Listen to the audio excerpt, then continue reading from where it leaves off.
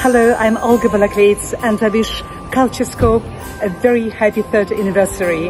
I also want to wish Merry Christmas, Happy New Year to CultureScope, Paul Lambis and the whole of Cyprus.